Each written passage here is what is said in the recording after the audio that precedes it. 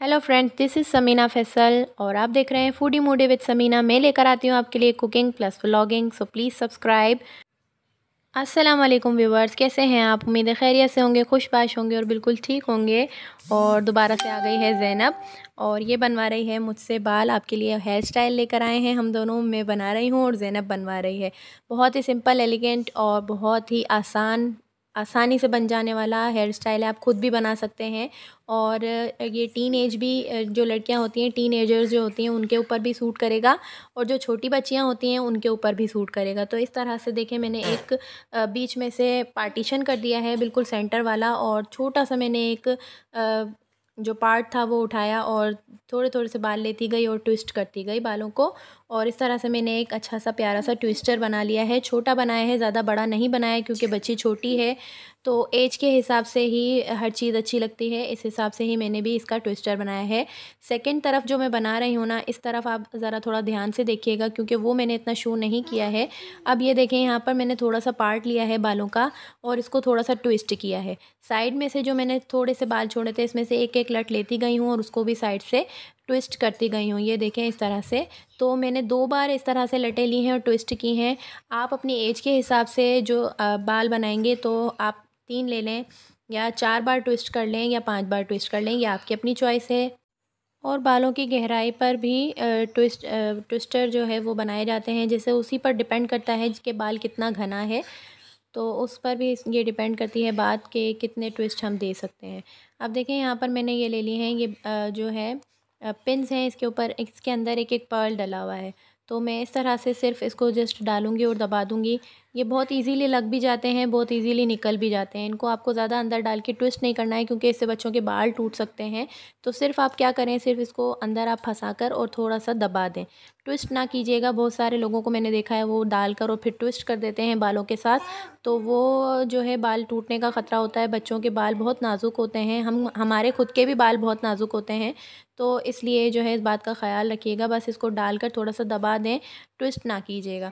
तो ये देखें, बहुत ही प्यारा सा, सिंपल सा हेयर स्टाइल तो तैयार है। अब क्या करेंगे, हम दो पिन्स लेंगे। क्योंकि जैनब ने ब्लैक कलर का वेयर किया हुआ है ड्रेस तो हमने ब्लैक पिन्स ली हैं यहाँ पर। आप अपनी चॉइस के हिसाब से, अपनी मर्ज़ी से कुछ भी, कोई भी पेन्स यूज़ कर सकते हैं। तो ये पेन्स भी लग गई हैं, ये देखें, दोनों पेन्स लग गई हैं। और बहुत प्यारे लग रहे हैं ज़ैनब के बाल। तो ईद के दिन आप पहले दिन चाहें, दूसरे दिन चाहें, जिस दिन चाहें जो है ये वाला हेयर स्टाइल यूज़ कर सकते हैं। बहुत ही सिंपल है और बहुत ही जल्दी बन जाने वाला है और बहुत ही प्यारा लग रहा है। तो आप भी मुझे कमेंट करके बताइएगा और आपको हेयर स्टाइल पसंद आया हो तो लाइक कीजिएगा वीडियो को। चैनल पर नए हैं तो सब्सक्राइब कीजिएगा। और कहीं जाने की ज़रूरत नहीं है, अभी वीडियो आगे बाकी है क्योंकि आज जो है चाँद रात है तो उसी हिसाब से ब्लॉग आया है। चाँद रात है तो ज़ाहिर है ईद की तैयारियाँ, ईद के लिए मुझे अपना कमरा सेट करना था, बाकी तो सारे घर की क्लीनिंग हो गई थी।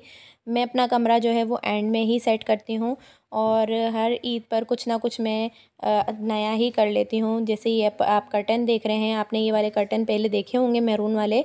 लेकिन ये जो वाइट वाले हैं, ये मैंने अभी लगाए हैं। ये न्यू नहीं लिए हैं। ये पुराने हैं, मैं अभी आपको बताऊँगी ये कब के हैं। अभी तो ये देखें, इस तरह से मैंने इनको लगा दिया है। वैसे ही मेरे पास ये जो क्लिप लगे हुए हैं, वो डबल में ही लगे हुए थे। क्योंकि जो मेरे पुराने वाले कर्टन थे ना, वो डबल थे। ब्राउन कलर में थे वो और मैंने बाद में जो है ये मैरून वाले परचेज़ किए थे। तो जो ब्राउन वाले जो मेरे कर्टन थे ना, उसके साथ ये वाइट वाला कर्टन भी था, ये वाला। तो ये जो है, मैंने संभाल के रख दिए थे। अब मुझे ऐसा लग रहा था कि जैसे इसको कंट्रास्ट करके अगर मैं यूज़ करूँगी तो अच्छा लगेगा। मैं लगा कर देखना चाह रही थी और मैंने जब ये लगाया तो मुझे बहुत ही ये खूबसूरत लग रहे हैं। और एक और भी ट्रांसफॉर्मेशन की है मैंने।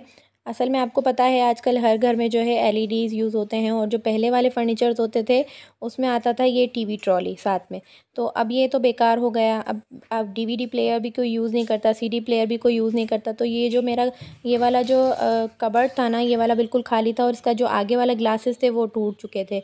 जो लगे हुए थे, इसके दरवाज़े जो थे डोर्स जो थे, वो टूट चुके थे। तो मैंने क्या किया, मैंने इनको इस तरह से, इसको इस तरह से यूज़ कर लिया और आगे थोड़ा सा कर्टन लगा दिया है ताकि मेरे जो शूज़ हैं नए बच्चों के, वो सेफ़ भी रहें और नज़र भी ना आए।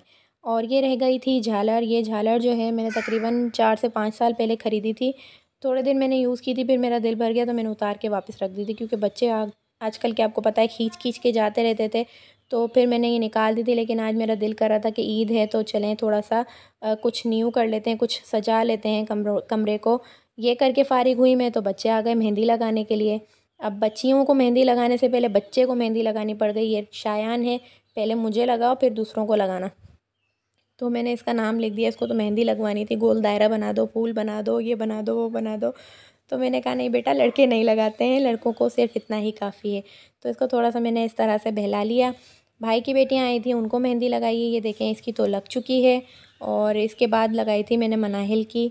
तो जो थोड़ी बहुत आती है, वो मैंने लगा दी, मैंने कोई सीखी नहीं है। ना मैंने मेहंदी सीखी हुई है और ना मैंने कोई सिलाई विलाई सीखी हुई है, लेकिन थोड़ा बहुत मैं कर लेती हूँ। इतना कर लेती हूँ कि गुजारा हो जाता है। ये देखें, इतना तो हो गया कि गुजारा हो जाएगा, बच्चियों का अब ज़ैनब रह गई है, ज़ैनब को मैं रात को लगाऊँगी। तो वो मैं आज आपके साथ शेयर नहीं कर पाऊँगी। मैं अपनी भी मेहंदी आज आपके साथ शेयर नहीं कर पाऊँगी, लेकिन ये है कि चाँद रात वाला जो सीन है ना, जो अभी तक हमने इन्जॉय किया है, वो आपके साथ मैं शेयर कर रही हूँ। और इसके साथ साथ जो मैं आपके साथ शेयर कर रही हूँ, वो है शीर कुरमा। और वो भी मेरे एक सब्सक्राइबर की फरमाइश पर। तो उन्होंने मुझसे कहा था, एक सब्सक्राइबर है मेरी, कामरान मेमन के नाम से।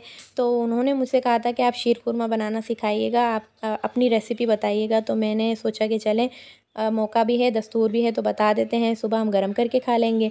तो यहाँ पर देखें दो टेबल स्पून मैंने घी ले लिया है असली वाला जो घी होता है वो देसी घी लिया है आप चाहें तो बनास्पति भी इस्तेमाल कर सकते हैं और कुकिंग ऑयल भी इस्तेमाल कर सकते हैं। इलायची ली है इलायची को मैंने खोल लिया है दाने निकाल कर वो डाल दिए हैं और ड्राई फ्रूट्स मैंने लिए हैं यहाँ पर। आ, कुछ आपकी मर्ज़ी है आप ड्राई फ्रूट्स डालना चाहें तो ठीक है वरना ये भी आपकी चॉइस है। यहाँ पर मैंने कुछ ड्राई फ्रूट्स डाले हैं और कुछ मैंने साइड पे रखे हैं गार्निशिंग के लिए। हाफ़ कप के बराबर मैंने यहाँ पर शामिल किया है अभी सिवैयों को और ये जो सिवैयाँ हैं ना, मैंने तोड़ के रख ली थी, साबुत नहीं है। इनको थोड़ा सा मैं फ्राई करूँगी, इतना फ्राई करूँगी कि हल्का सा इस पर कलर आए, ज़्यादा ये काली ना हो जाए और बिल्कुल बारीक आँच पर मैं ये काम कर रही हूँ, वरना अगर ये ज़रा सी भी काली हो गई ना तो शीर खुरमे का बेड़ा गर्क हो जाएगा। हाफ़ के जी में इसमें हाफ़ लीटर, सॉरी, हाफ़ के जी नहीं क्योंकि लिक्विड की जो मेज़रमेंट होती है लीटर्स में होती है तो हाफ़ लीटर जो मैं है, इसमें मिल्क शामिल कर रही हूँ, दूध मैंने उबाल के रखा था, उसकी जो बालाई है, वो भी मैंने इसमें साथ ही डाल दी है, ताकि अच्छा सा फ्लेवर आ जाए। अगर आप मलाई आपके पास ना तैयार हो तो आप क्रीम शामिल कर सकते हैं, अगर आप करना चाहें तो। और हसब ज़ायक़ा मैं इसमें चीनी डालूँगी, आपको पता है, मैं शुगर पेशेंट है हमारे घर में तो उसकी वजह से मैं जो है, मेरी सास हैं वो तो मैं उनकी वजह से जो है चीनी कम इस्तेमाल करती हूँ तो आप अपने हिसाब से डालिएगा। यहाँ पर मैंने एक टेबल स्पून इसमें शामिल कर दिया सागुदाना। सागुदाना मैंने इसमें शामिल किया है इसको गाढ़ा करने के लिए। तो इससे जो है फ्लेवर भी अच्छा आएगा और सागुदाने के जो हैं, फ़ायदे भी बहुत सारे हैं और जो मेरा शीर खुरमा है थोड़ा सा गाढ़ा भी हो जाएगा। बहुत सारे लोग जो हैं जैसे कि मेरी अम्मी शीर खुरमे में कस्टर्ड पाउडर डालती हैं। तो वो भी आप डाल सकते हैं, सिर्फ़ हाफ़ टेबल स्पून डाल दें और घोल कर थोड़ा सा दूध में तो वो भी अच्छा सा फ्लेवर भी हो जाता है और थोड़ा सा गाढ़ा भी हो जाता है, लेकिन मैं सागुदाना डाल देती हूँ तो उससे अच्छा सा गाढ़ा भी हो जाता है और फ़ायदे का फ़ायदा भी हो जाता है। तो ये देखें, तकरीबन छः से सात मिनट मैंने इसको पकाया था। सागुदाना डालने के बाद और इसको बिल्कुल हल्की आँच पर पकाने के बाद थोड़ी देर मैंने इसको तेज़ आँच पर पकाया था। तेज़ आँच पर पकाने के बाद देखें इसकी कंडीशन इस तरह से है। जो है शीर खुरमा थोड़ा सा गाढ़ा हो गया है और अब जब मैं इसको फ्रिज में रखूँगी तो ये और भी ज़्यादा गाढ़ा हो जाएगा। वैसे अमूमन जो है लोग शीर खुरमा को हम मेमनों के अलावा ठंडा करके खाते हैं, लेकिन हम जो मेमन है ना, हम गरम गरम शीर खुरमा खाते हैं। सुबह में, नाश्ते में हम सुबह शीर खुरमा, पूरियाँ, कुछ लोग साग भी बना लेते हैं तो वो इस तरह से खाते हैं। तो मैं सुबह में इसको गर्म करके सबको दूँगी, सर्व करूँगी। अभी मैं आपको यहाँ पे सर्व करके दिखा रही हूँ। थोड़े से मैंने जो ड्राई फ्रूट साइड में रखे थे, वो मैंने इसके ऊपर थोड़े से स्प्रिंकल कर दिए हैं, ऊपर रख दिए हैं। तो ये मेरा शीर खुरमा भी रेडी हो गया है, और आज की जो मेरी वीडियो थी, यहीं तक थी। उम्मीद है आप लोगों को पसंद आई होगी। पसंद आई हो तो लाइक कीजिएगा चैनल पर नए हैं तो सब्सक्राइब कर दें सपोर्ट करें। दुआओं में याद रखिएगा। अल्लाह हाफिज़।